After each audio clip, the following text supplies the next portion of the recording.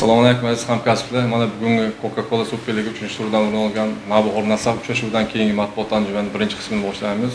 Unda nasaf bosh murabbiyi ro'ziqul sadullayevich berdiyev ishtirok etyaptilar demak an'anaga ko'ra ro'ziqul aka avvalo o'yin haqidagi fikrlaringizni o'rtoqlashsangiz assalomu alaykum hammaga. Sizlar bilan ko'rishib turganimizdan xursandmiz. Ajoyib muhitda o'tdi futbol. Namanganda har doim shunaqa bo'lgan. Bugungi haqiqatda o'yinni darajasi ham stadiondagi muhit ham man o'ylaymanki juda yam ajoyib. Bunaqa o'yinlar bunaqa muhitda o'tish juda yam kamdan kam bo'ladi. Bugun e, man o'ylashimcha o'yindagi rejamiz e, himoyadagi rejamiz amalga oshdi. Chunki biz xuddi shundoq o'ynashni e, bolalarga o'qitirgan edik e, rejamiz ham shu edi. Faqat e, oldinda vaziyatlar yaratib e, uni golga aylantirishimiz kerak edi. Afsuski bunda oqsadik. Man o'ylaymanki golli vaziyatlarni oladigan bo'lsak mezbonlarga nisbatan bizda yaxshiroq imkoniyatlar ega bo'ldik и o'yinda biz man o'ylashimcha o'yinda to'pni nazorat qilish ham biz tarafda bo'ldi manimcha navbahor jamoasi bizga osonroq bo'lgan qulayroq bo'lgan futbolni o'ynadi ular ko'proq uzun uzun paslar bilan bizni uzun bo'yli himoyachilarimizga bu qo'l keldi biz shunga tayyor edik bugun bilardik namangan jamoasi ko'proq hujumga e'tiborni qaratadi. O'sha uchun biz yigitlardan diqqatni yo'qotmasdan to'qson minut yaxshi himoyalanishimiz kerak edi. Buni man o'ylaymanki boshida ta'kidlab o'tdim to'g'ri bajara oldik faqat hujumda biz oqsadik. Umuman olganda man o'ylaymanki ikkita jamoa ham bugun g'alabaga harakat qildi. O'ylashimcha ikkita jamoa ham ikki ochkodan mahrum mahrum bo'ldi man o'ylaymanki ularni ham bizlarni ham qoniqtirmadi. Bugungi necha? Marhamat savollar bo'lsa kimda qanaqa savollar marhamat.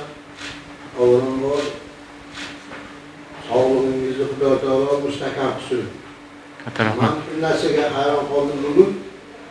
Nasab jamoasi o'yinchilarni muxlislar va jurnalistlar ko'pi ko'rinishdan yoki yugurishmani esda tanimaydi numeridan ko'proq bilib olinadi bugungi o'yinda umuman biz kim qilayotgani juda qiynaldik ayniqsa biz manga o'zimga juda ham qiyin bo'ldi o'yinni bir tahlil qilishlikka uni nomerini umuman farqla olmadim televideniya qanaqa bo'ldi bilmadim men ko'rmadim shunga shuni kim tanladi Fikringiz buni shu- o'zgartirish mumkinmi fikringizni tushundim avvalo sog'ligimni o'ylab e, qayg'urganlaring uchun sizga ham qolaversa e, juda yam ko'p insonlar mani tezroq sog'ayishimni juda yam xohladi. Ko'plari yaxshi niyat bildirib e, sog'ayib ketishimni xohladi. Barchaga minnatdorchilik bildirmoqchiman.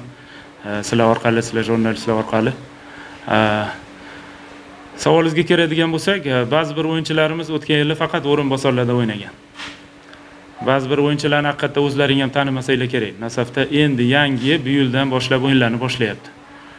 Bilasizlar bizda e, yetakchi sizlar biladigan taniydigan o'yinchilarimizni ko'pchiligi tark etdi.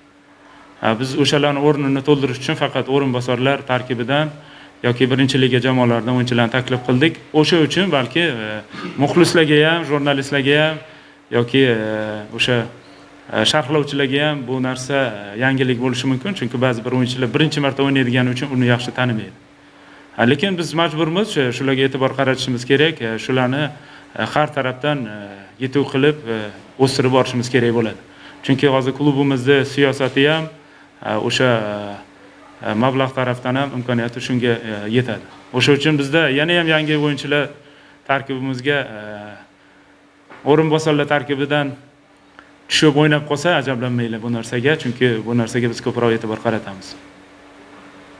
Mayli shu nomerni o'qib bo'lmaydi ha nomeri siz haligi formaga uyg'unlik ha ha formaga urg'u beryapsiz. Rang kuz rangi qizil tushundik buni o'tgan safar o'ynaganimizda ham qaysidir jurnalist ta'kidlab o'tgan edi uzoqdan o'sha nomerlari ko'rinmayapti deb man sizni tanimayman o'yinchilarni deganingizga man boshqacha tushundim balki yangi o'yinchilar chiqyapti tanimaydi to'g'ri.